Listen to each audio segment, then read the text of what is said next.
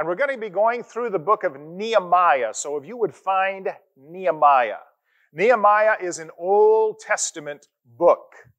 If you can find the book of Psalms, which is just about in the middle of your Bible, and if you find Psalms, start turning towards the front cover. All right? From Psalms, you will find you will come to the book of Job. Keep turning towards the front cover. And then before Job, you'll come to the book of Esther. Keep turning towards the front cover. And the next book is Nehemiah. So it goes Nehemiah, Esther, Job, Psalms.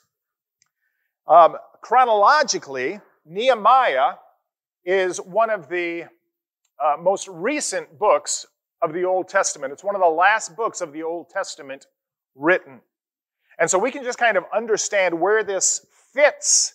Let me give you a short history lesson. When the nation of Israel came out of slavery to Egypt, uh, they were led in the wilderness for 40 years. They wandered in the wilderness for 40 years before being led into the land that God had promised to Israel. And when they entered into that promised land, things went quite well for Israel for a while until poor leadership caused the nation of Israel to divide into two nations. The northern nation consisted of 10 of the 12 tribes of Israel, and that nation retained the name Israel.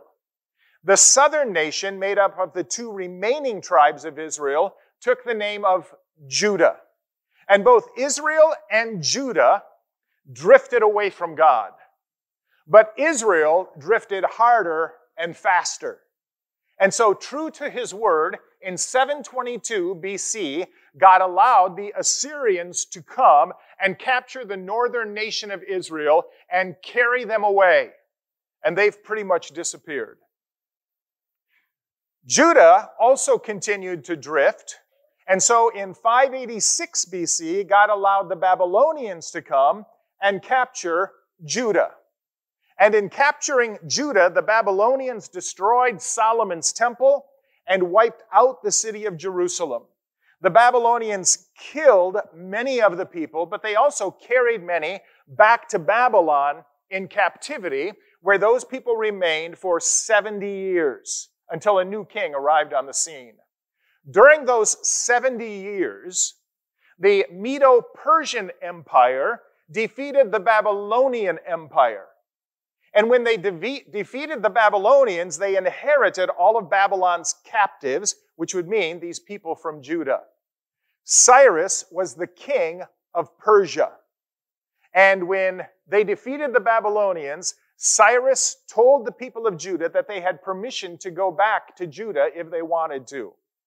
And the Old Testament book of Ezra tells us about many of those groups of people returning to Judah and how they rebuilt the temple. But the city was still in disrepair. The city walls were still broken down. And city walls are for the purpose of protection. And so the people living in the city or working in the city or going to the temple to worship in the city, they felt unsafe. They felt vulnerable. And that's the situation as we begin the book of Nehemiah. I believe Nehemiah is one of the four greatest leaders in the Bible. Clearly, Jesus is the greatest leader who has ever lived. Jesus started a movement, we call it Christianity, that has turned the world upside down and inside out and made the world a better place for hundreds and hundreds and hundreds of years. Another great leader in the Bible is Moses. And from Moses, we learn the importance of delegation and trust. Another great leader in the Bible is Barnabas. And from Barnabas, we learn the importance of investing in and building up people. But from Nehemiah, we learn a number of great leadership lessons. And the leadership lesson that we are going to discover this morning is that leaders face facts but never lose hope. Leaders face facts, but never lose hope. So if you are there in the book of Nehemiah, let's read the first few verses. It says, The words of Nehemiah, son of Hachaliah, in the month of Kislev, in the 20th year, while I was in the citadel of Susa.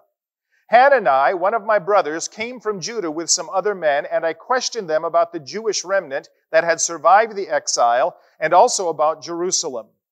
They said to me, Those who survived the exile and are back in the province are in great trouble and disgrace. The wall of Jerusalem is broken down, and its gates have been burned with fire. Nehemiah is in the citadel in Susa. Susa was the city where Persian kings would go during winter. And we're told here at the beginning of the book of Nehemiah that this is happening in the month of Kislev. Kislev. That would be our November, December, the end of November and the beginning of December. So it's winter. And we're told that he is here in Susa in a citadel, which means a fortified palace. And the reason Nehemiah is here in this fortified palace with the king is because, as we'll see in a few verses, Nehemiah is cupbearer to the king, meaning that he would taste test all of the king's wine and food to make sure that it hadn't been poisoned. Nehemiah was a captive slave, but he had become a trusted servant. And so while Nehemiah is there, his brother Hanani comes back from Jerusalem. When Cyrus allowed the people of Judah to return to Judah, many of them did, not all of them did, but there was freedom to travel, and so people would go back and forth between Jerusalem or Judah and back up into this territory, which is now held by the Medo Persian Empire. It was over 750 miles. It was a trip that would take these people several months but people were going back and forth. And Hanani returns from being in Jerusalem and he travels with some people. And so Nehemiah asks him, What is the condition there? How, how are the people of Judah doing? And what's the condition of the city of Jerusalem? And here we see the first part of this leadership lesson that leaders face facts but never lose hope. And the necessary part of this is that a good leader gets the facts. A good leader gets the facts. Nehemiah asks how the people are and what the condition of the city is. Good leaders do not make decisions based on feeling. They might move based on intuition, but they do not make decisions based on feelings. They get the facts. They do the research. And Nehemiah is humble enough to get the information and to ask the opinions of others so he can know what is reality. And what they said is bad news. They said that uh, these who had survived the exile, and by the way, many people did not survive the exile. And so these are people who were strong. These are people who were tough. These were people who had been through difficult things. And now they've returned to Judah and the city of Jerusalem, but they are still in great trouble and disgrace because the wall of Jerusalem is broken down and its gates have been burned with fire. To say that they are in great trouble means that they are struggling with adversity, there's calamity, there's harm. To say that they're experiencing disgrace means that they are being shamed. It means that they're being ridiculed, they're under reproach. It means that they are being mocked and made fun of. And so these people, whether they are living in the city of Jerusalem or working in the city of Jerusalem or just returning to Jerusalem to worship at the temple, there are no walls. And so they are vulnerable and open to attack. And there are no city gates, so they can't prevent anybody from entering into the city. So they feel vulnerable. They feel like they could be attacked at any moment, and the enemies around the city are mocking them and making fun of them and intentionally scaring them. Leadership doesn't begin by seeing the world through rose colored glasses. But neither does leadership begin with pessimism. Leadership gets the facts. Good leadership begins with having the facts so you know reality. This is the way things really are. It might be great, it might be horrible, it might be somewhere in between, but you have to know the facts in order to be able to lead forward from here. And as we see with Nehemiah, and as is often true for us, we need to ask others for information. We need to ask others their opinion in order that we can accurately know the facts. Well, in the rest of our passage for today, we are going to see four responses of godly leaders. Once they have the information, once they have the facts, what do they do? You see, there's a lot of people who know the facts, but they don't go on to become leaders. Why? Because a, a leader does something with the information they have. A leader moves forward from that point. And as we're going to see here, there are four responses that not only make Nehemiah a good leader, but they make Nehemiah a godly leader. The first response of a godly leader is that a godly leader prays. So let's keep reading. Nehemiah chapter 1, verse 4. He says, When I heard these things, I sat down and wept. For some days I mourned and fasted and prayed before the God of heaven. Then I said, Lord, the God of heaven, the great and awesome God who keeps his covenant of love with those who love him and keep his commandments, let your ear be attentive and your eyes open to hear the prayer your servant is praying before you day and night for your servants, the people of Israel. I confess the sins we Israelites, including myself and my father's family, have committed against you. We have acted very wickedly toward you. We have not obeyed the commands, decrees, and laws you gave your servant Moses. Remember the instruction you gave your servant Moses, saying, If you are unfaithful, I will scatter you among the nations. But if you return to me and obey my commands, then even if your exiled people are at the farthest horizon, I will gather them from there and bring them to the place I have chosen as a dwelling for my name. They are your servants and your people, whom you redeemed by your great strength and your mighty hand.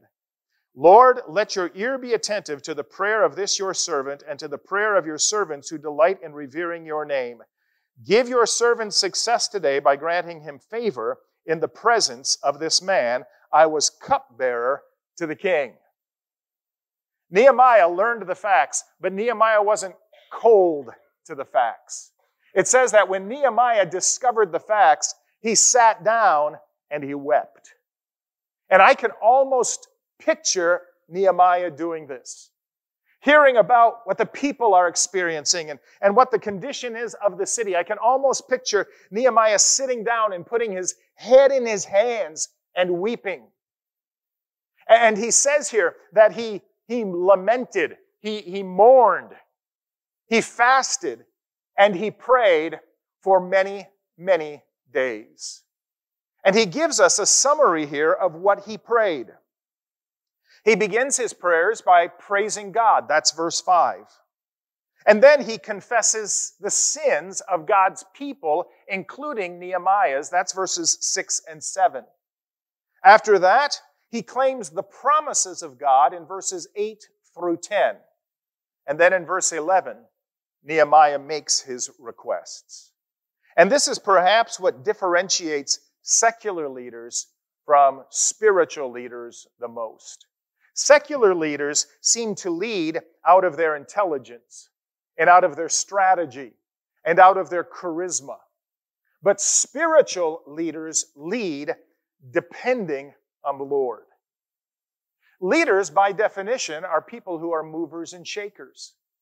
And so oftentimes, godly leaders struggle in their prayer life because it can seem like they aren't doing the most productive thing.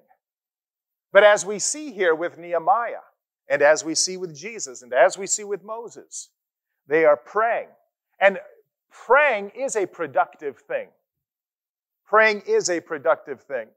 Uh, Henry Blackaby, in his book Spiritual Leadership, mentions six important reasons leaders need to be praying. First, nothing of spiritual significance happens without God, so pray. Second, spiritual leaders need to lead being filled with the Holy Spirit, so pray. Third, to lead well, we need wisdom, and God is the giver of wisdom, so pray. Fourth, God is all powerful. So, to accomplish the big things God desires of us, we need to pray. Fifth, prayer is the leader's best remedy for stress. So, pray. And six, God reveals his plan and his schedule through prayer. So, pray. Leaders face facts, but never lose hope. Nehemiah knew the real situation of the city of Jerusalem and of the people in Judah, but Nehemiah was a man of prayer, and he believed in a better future. And so he prayed, trusting that God would reveal his will and his plans to him. Second thing that godly leaders do in response is they wait. They wait. Nehemiah's prayer ends very clearly that he has a sense that God is going to do something through him. Because he says, Give your servant success today by granting him favor in the presence of this man, meaning the king. Look at chapter 2, verse 1. It says, In the month of Nisan, in the 20th year of King Artaxerxes, when the wine was brought for him, I took the wine and gave it to the king. Let's just stop there. The Bible says he who waits upon the Lord will renew his strength. That means that God's timing is best. So oftentimes, the wisest thing we can do is just wait for God's timing. Nehemiah's story began in the winter. Remember, it was the month of Kislev, November, December. Chapter 2 starts in the month of Nisan, which is the end of our April. So Nehemiah has been waiting for four to five months. What's he been doing during those four to five months? He's been praying and waiting. He's been praying and waiting. He's been praying and waiting. We aren't people who like to wait, are we? You sit in front of your computer screen and that little circle goes around two or three times, you get frustrated, right? You uh, put a cup of coffee in the microwave to heat it up, and you start to tap your toe, and it just takes 45 seconds. Okay, you're in a traffic line, and, and if the light turns green and the car in front of you doesn't immediately take off, you tap your horn. Right? We just do not like to wait. We like to move. We like action. We like to see things happen. But poor leadership is getting ahead of God. Biblically, waiting never means being passive. Biblically, waiting is always active, but it is acting doing God things, not my things. Waiting requires patience, trust, faith, hope. A third thing that godly leaders do is they volunteer. They volunteer. Leaders are leaders because they want to be a part of the solution. They face the facts, but they want to help things to improve. They want to be part of the solution. The first requirement of church leaders is they have to want to serve. So look at verse chapter 2. We're going to go back to the beginning of verse 1 again, down through verse 5. It says, In the month of Nisan, in the 20th year of King Artaxerxes, when wine was brought for him, I took the wine and gave it to the king. I had not been sad in his presence before, so the king asked me, Why does your face look so sad when you are not ill? This can be nothing but sadness of heart. I was very much afraid, but I said to the king, May the king live forever. Why should my face not look sad when the city where my ancestors are buried lies in ruins and its gates have been destroyed by fire? The king said to me, What is it you want? Then I prayed to the God of heaven, and I answered the king, if it pleases the king, and if your servant has found favor in his sight, let him send me to the city of Judah where my ancestors are buried, so that I can rebuild it. Kings don't want to be surrounded by Eeyores. Remember Eeyore from Winnie the Pooh? Oh, Pooh. It's a wonderful day. Right? Kings don't want to be surrounded by people who are sad and upset and angry and unhappy. Kings want to be surrounded by people who are excited and people who are happy and people who are satisfied. And Nehemiah has not been giving any indication that he's upset until this day. And on this day, Artaxerxes notices the look on Nehemiah's face. And so he asks Nehemiah, What's wrong? And don't you love Nehemiah's honesty? He said, I was very much afraid. Why? Because being unhappy in the presence of the king usually meant that you were put to death. But Nehemiah had been praying and Nehemiah had been trusting, and Nehemiah had been waiting for God's timing. And all of a sudden, he has a sense that the Spirit of God is moving here, that God is opening a door. Nehemiah recognizes this is the moment. And so he tells Artaxerxes that the reason he's sad is because his mind is in Judah and his heart is broken over what those people are having to endure and broken over the condition of God's holy city. Well, then the last thing godly leaders make plans. Godly leaders make plans. Continue reading verses 6 through 10. Then the king, with the queen sitting beside him, asked me, How long will your journey take, and when will you get back? It pleased the king to send me, so I set a time. I also said to him, If it pleases the king, may I have letters to the governors of Trans Euphrates, so that they will provide me safe conduct until I arrive in Judah. And may I have a letter to Asaph, keeper of the royal park, so he will give me timber to make beams for the gates of the citadel by the temple, and for the city wall, and for the residence I will occupy. And because the gracious hand of my God was on me, the king granted my requests. So I went to the governors of Trans Euphrates and gave them the king's letters. The king had also sent army officers and cavalry with me. Do you know that God honors order and a plan? God honors order and a plan. So during the months while Nehemiah was praying and waiting, praying and waiting, he was also thinking and planning. By the way, that in itself is a demonstration of faith, isn't it? If you don't believe God is going to answer your prayer, why plan? If you don't think God is going to move, why plan? If you don't think God is up to the task, why plan? But when Artaxerxes asks Nehemiah questions, Nehemiah has answers because he has been planning. Some people think that trusting God means just flying by the seat of your pants. But that's not the case. Proverbs 16:3 says, "Commit your work to the Lord, and your plans will be established." That, that word for commit your work to the Lord, it means roll that off of your shoulders and roll that onto God. And when you do that, when you unburden yourselves and you lay that on God, He says, your plans will be established. The word plan has in its definition the idea of forethought strategy. Jesus talked about a man who was about to build a tower, and he says the man didn't put any planning or forethought into it, so he didn't have enough money to complete the project. Jesus talked about a king who was about to go out and do battle, but he didn't plan, he didn't think about whether or not his soldiers would be able to defeat the enemy's soldiers. God honors order and plan. He honors prayerfully made, Holy Spirit guided planning.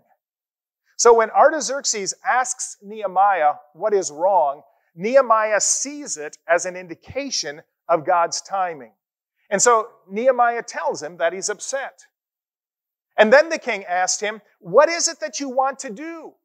And it says that Nehemiah sends up what I call a bullet prayer, right? Just one of those, oh Lord, help me. You ever prayed one of those? I sure have. And he sends up this bullet prayer. Um, and he answers and he says, Please let me go to Jerusalem so I can rebuild it. So I can rebuild it.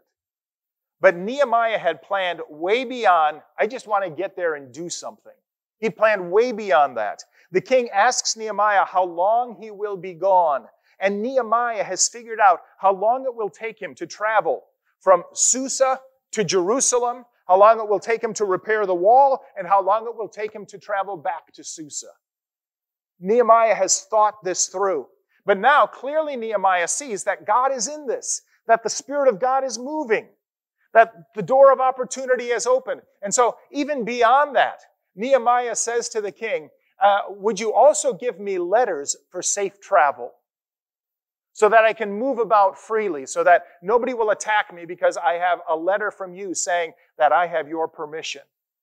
And even beyond that, he asks the king to provide the lumber to rebuild the walls and the city gates and enough lumber to build a house for Nehemiah to live in while he's there in Jerusalem.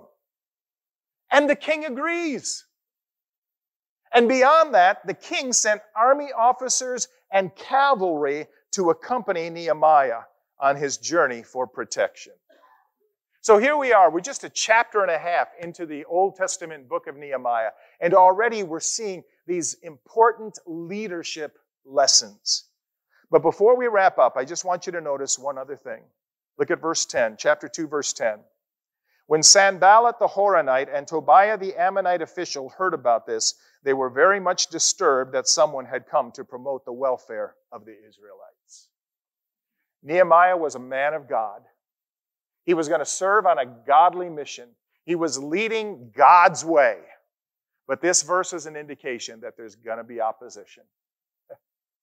These two guys, Sanballat and Tobiah, we are going to see that they cause Nehemiah headaches all the way through Nehemiah's story. Well, I hope you're beginning to love and appreciate Nehemiah the way I do.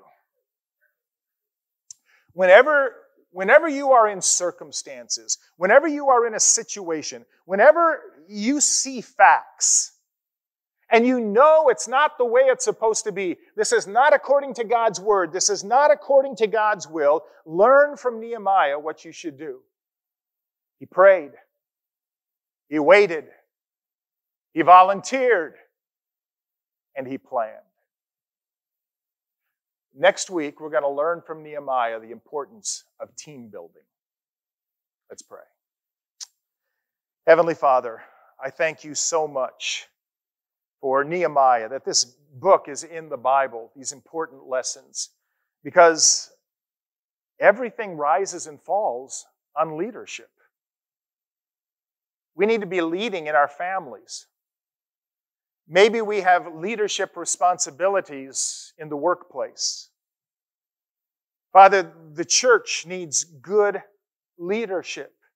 Nations need good leaders. And so th- this isn't just interesting stuff to pack away in the back of our head. This is information that we need to apply and put into practice.